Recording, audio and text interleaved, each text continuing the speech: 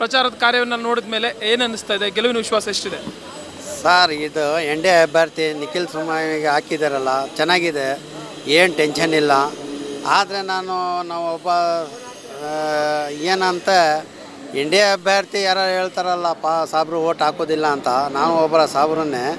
ಯಾಕೆಂದರೆ ಮಾಜಿ ಪ್ರಧಾನಮಂತ್ರಿ ದೇವೇಗೌಡರು ನಾಲ್ಕು ಪರ್ಸೆಂಟ್ ಮೀಸಲಾತಿ ಕೊಟ್ಟಿದ್ದಾರೆ. ಆದರೆ ಇನ್ನೊಂದು ಅಂದರೆ ಈದ್ ಮಿಲಾದ್ ಘೋಷಣೆ ಮಾಡಿದ್ದು, ರಜಾ ಘೋಷಣೆ ಮಾಡಿದರೆ ಜನತಾದಳ್ನಲ್ಲಿ ವಿ ಪಿ ಸಿಂಗ್ ಅವರನ್ನೇ. ಯಾಕೆಂದರೆ ಕುಮಾರಣ್ಣ ಇಲ್ಲಿ ಕೆಲಸ ಮಾಡಿದ್ದಾರೆ, ಖಂಡಿತ ಗೆಲ್ಲೇ ಗೆಲ್ತಾರೆ. ಆ ಕೆರೆಗೆ ನೂರು ಕೆರೆಗೆ ನೀರು ಬಿಟ್ಟಿದ್ದಾರೆ. ಅದಕ್ಕೋಸ್ಕರ ಗೆಲ್ಲೇ ಗೆಲ್ತಾರೆ. ಎನ್ ಡಿ ಅಭ್ಯರ್ಥಿ ನಿಖಿಲ್ ಕುಮಾರಸ್ವಾಮಿ ಇಪ್ಪತ್ತು ಸಾವಿರ ಮತದಿಂದ ಗೆಲ್ತಾರೆ. ಮುಸ್ಲಿಮ್ಸು, ಜೆ ಡಿ ಎಸ್ ಹಾಗೆ ಬಿ ಜೆ ಪಿಗೆ ಓಟ್ ಹಾಕಲ್ಲ ಅನ್ನುವಂಥದ್ದು ಸುಳ್ಳು.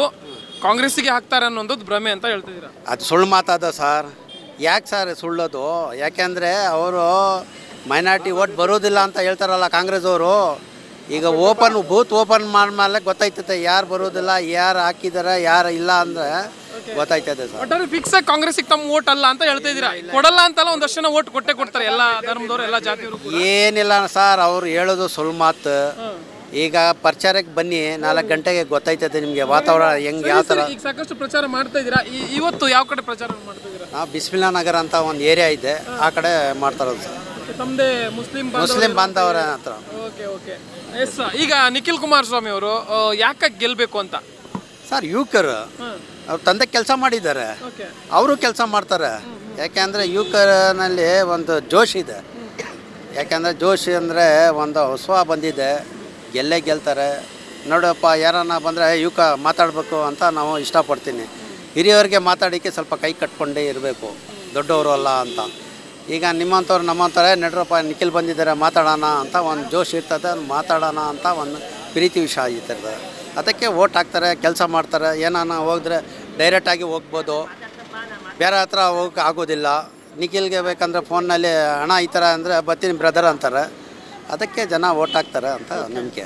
ಕುಮಾರಸ್ವಾಮಿ ಅವರ ಮೇಲೆ ಯಾಕೆ ಅಷ್ಟು ನಂಬಿಕೆ? ಹಿಂದಿನ ಎರಡು ಬಾರಿ ಏನು ಶಾಸಕರಾಗಿದ್ದರು ಒಂದು ಕಳೆದ ಬಾರಿ ಶಾಸಕರಾದಾಗ ಮುಖ್ಯಮಂತ್ರಿ ಕೂಡ ಆಗಿದ್ದರು ತಮ್ಮ ಕ್ಷೇತ್ರದಿಂದ ಗೆದ್ದು. ಅವರ ಅವಧಿಯಲ್ಲಿ ಕೆಲಸಗಳಾಗಿದೆಯಾ? ಖಂಡಿತ ಸರ್ ಕೆಲಸ ಆಗಿದ್ದಾರೆ. ಯಾರು ಇಲ್ಲ ಅಂತ ಹೇಳೋದು ಅವ್ರು ಇಲ್ಲ ಅಂತ ಹೇಳೋದು ಯಾರು ಅಂದರೆ ಕಾಂಗ್ರೆಸ್ ಅವರು.